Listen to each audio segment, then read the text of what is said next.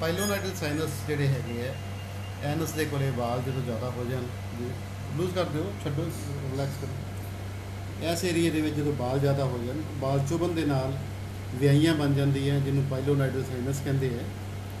ਸੋ ਇਹਨਾਂ ਨੂੰ ਦੂਰ ਕਰਨ ਦਾ ਸਭ ਤੋਂ ਵਧੀਆ ਤਰੀਕਾ ਹੈ, ਜਿਵੇਂ ਤੁਸੀਂ ਦੇਖ ਰਹੇ ਹੋ, ਇਹਨਾਂ ਦੀ ਸਰਜਰੀ ਵੀ ਹੋਈ ਹੋਈ ਹੈ, ਪਰ ਫਿਰ ਦੁਬਾਰਾ ਵਾਰੀ-ਵਾਰੀ ਇਹ ਜ਼ਖਮ ਹੋ ਜਾਂਦੇ ਆ। ਸੋ ਇਹਨੂੰ ਰਿਮੂਵ ਕਰਨ ਦਾ ਸਭ ਤੋਂ ਵਧੀਆ ਤਰੀਕਾ ਲੇਜ਼ਰ ਹੈ। ਲੇਜ਼ਰ ਨਾਲ ਵਾਲ ਹੀ ਖਤਮ ਹੋ ਜਾਣਗੇ ਤੇ ਇਹ ਦੁਬਾਰਾ ਨਹੀਂ ਹੋਏਗਾ। ਸੋ ਇਸ ਏਰੀਆ ਦੇ ਵਿੱਚ ਕਰਨਾ ਥੋੜਾ ਜਿਹਾ ਮੁਸ਼ਕਿਲ ਹੁੰਦਾ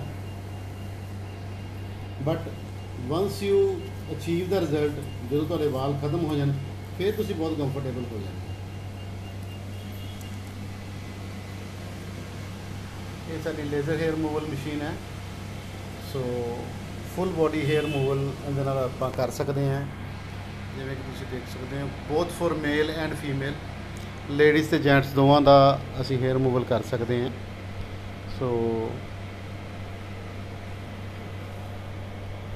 ਪਾਈਲੋਨਾਈਡਲ ਸਾਈਨਸ ਦੀ ਕਿਸੇ ਨੂੰ ਵੀ ਪ੍ਰੋਬਲਮ ਹੋਵੇ ਤਾਂ ਉਹ ਸਾਡੇ ਕੋਲੇ ਆ ਕੇ ਇਸ ਦੀ ਟ੍ਰੀਟਮੈਂਟ ਲੈ ਸਕਦਾ ਸਾਡਾ ਪਤਾ ਹੈ ਕਾਇਕਲ ਲੇਜ਼ਰ ਸੈਂਟਰ ਬਠਿੰਡਾ ਰੋਡ, ਨੇੜੇ ਗੁਰਦੁਆਰਾ ਤਰਨਤਾਰਨ ਸਾਹਿਬ, ਸ਼੍ਰੀ ਮੁਕਤਸਰ ਸਾਹਿਬ। ਫੋਨ ਨੰਬਰ ਹੈ 93566. Thank you.